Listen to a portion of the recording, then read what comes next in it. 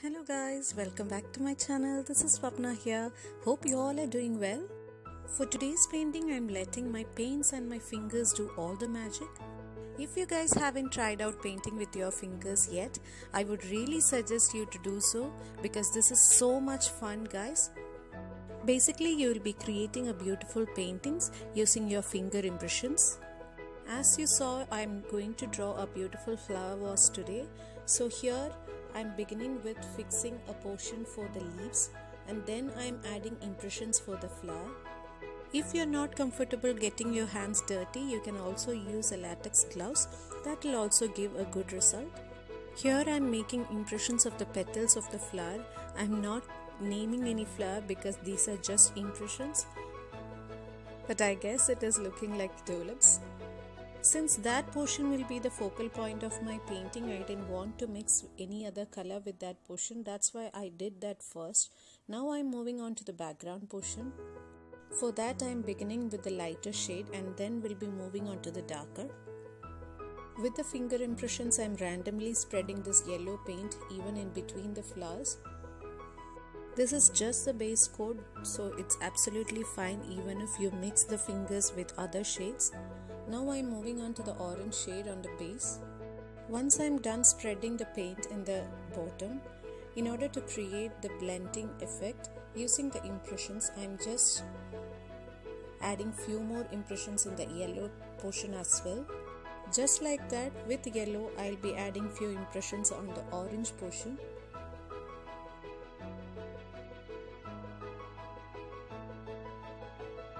Now I need to create a good partition for the base to keep the vase. For that I am adding dots of dark crimson. Make sure that you add the dots in such a way that the background shade of orange is seen through. Now once this portion is finished, I am moving on to the leaves of the flower bunch. I am adding random stalks of permanent green and sap green. It's okay even if you cover some red spots, you can add the final details later. To add value and bit more interest in this portion, I'm adding strokes of permanent yellow and ultramarine blue. You will have to add various layers to cover up the white portion in the background, but that will create a really beautiful texture to the painting.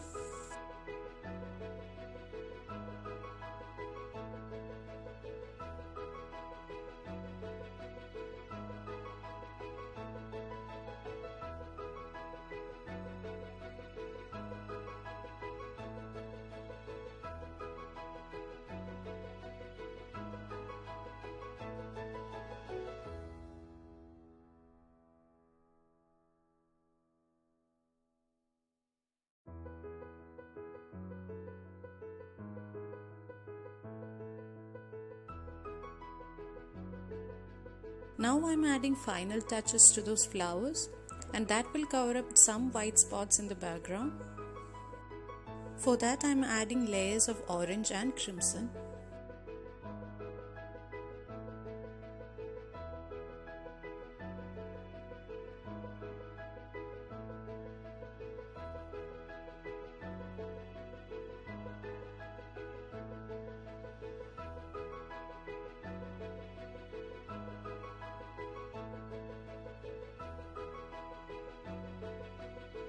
To add bit more details in this portion, I am adding dots of a dark violet shade which I got by mixing blue and red.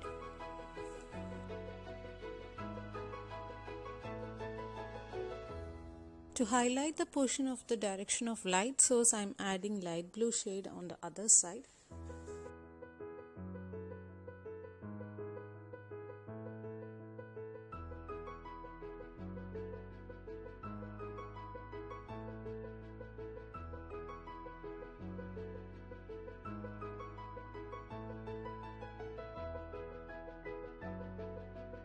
Now moving on to the final stage of adding the vase.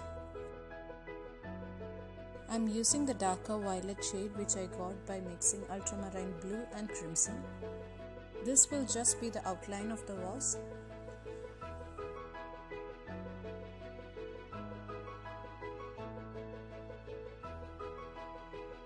Now to add some depth to the vase, I'm adding layers of yellow and the same time adding some stems.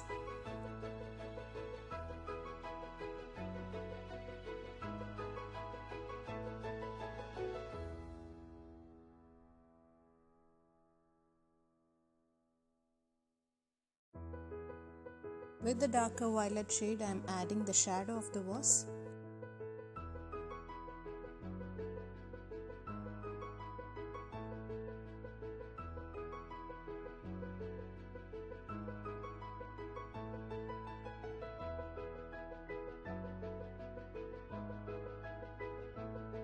I'm adding various strokes with various shades until I'm satisfied with this.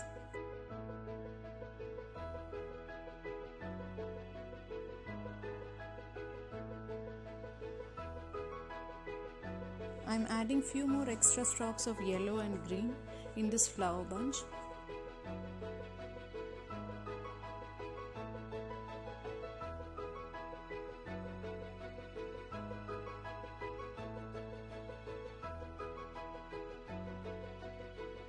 And now we are almost ready with this beautiful impressionistic painting.